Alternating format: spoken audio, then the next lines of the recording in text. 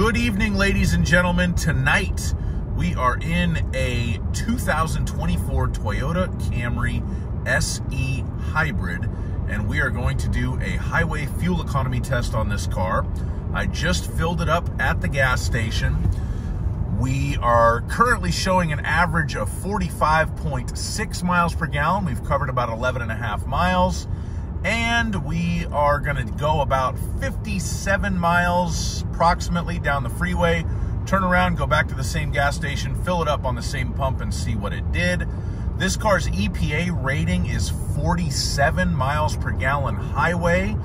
Uh, and I will say that I've tested several different Toyota models over the last couple of years and they are typically very accurate as far as their estimated mile per gallon probably better than any other brand that I've tested. And my all-time MPG champ was a 2022 Corolla hybrid. Uh, I believe that car was rated at 52 highway and it ended up getting 62 highway. Certainly don't expect that out of this Camry. It's a bigger car. It's only rated 47 highway, but uh, I would like to see over 50 from it. We will see what it does. Uh, as always, I have my dynamic radar cruise control set to 70 miles per hour. I'm uh, hopefully expecting smooth traffic and road conditions tonight. So I will continue on down the road and have an update for you very shortly. All right, we're about 20 miles from Legoland and we are barely averaging 46.8 miles per gallon, which would be extremely good in most cars but uh, it is slightly off the pace of the EPA rating for this Camry hybrid. And uh, the thing that concerns me slightly about that, at least for the final result, not that I care, I'm sort of dispassionate about this, but um, normally on this route, even though we end up with a net elevation gain of zero, on the first leg of the journey before the turnaround is slightly downhill, and then on the way back is slightly uphill. So if we're not hitting the EPA rating on the way down, it's very unlikely we'll hit it on the way back, but only time will tell. So as we drive by the San Onofre nuclear power plant, uh, we will continue on through the night and see how we do. I will get it turned around and have another update All you. right, so we have turned it around. We are on our way back. We've covered just over 59 miles.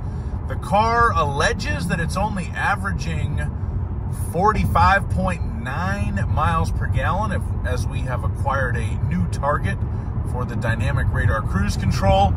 The fuel gauge has pretty much not budged in the 59 and a half miles that we've covered. So who knows, maybe the car is underestimating itself slightly, or maybe it's correct. I won't be able to know until we fill it up and do the math and see what it actually got. I'll probably have one more update for you uh, before we get to the gas station, unless something catastrophic happens. And then we will spend some money and do some math. All right, we are almost back. We've covered uh, 101 and change miles. The car thinks it's averaging 45.6 miles per gallon. The fuel gauge has moved, but just barely. So I don't know. Uh, maybe this car will very uncharacteristically for a Toyota hybrid miss its mark for a fuel economy test.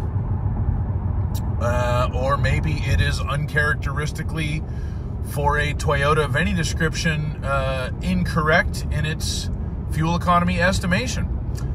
I really don't know, but I'm interested to find out, and that's what we're going to do right now. Okay, we have made it back to the gas station. We covered 116.1 miles. The car thinks it averaged 46.4 miles per gallon. And the question that I posed was, did this Toyota Camry either underestimate or misestimate its mileage, or did it miss its mark per the EPA rating? And unfortunately, the answer to that question turns out to be that it did both. So I filled it up. It took 2.628 gallons of gasoline, which means it averaged 44.178 miles per gallon. We'll round that up to 44.2 And uh, yeah, so this Camry missed its market, overestimated itself by over two miles per gallon and uh, fell almost three miles per gallon shy of the EPA rating. I'm very surprised by that because normally the Toyota hybrids I test do very well, but this Camry didn't. I guess that's why it's going to get redesigned next year. So anyway, if you drive one of these cars, let me know uh, what you get in your Camry hybrid. And please like my videos, subscribe to my channel, and have a great day. Bye-bye.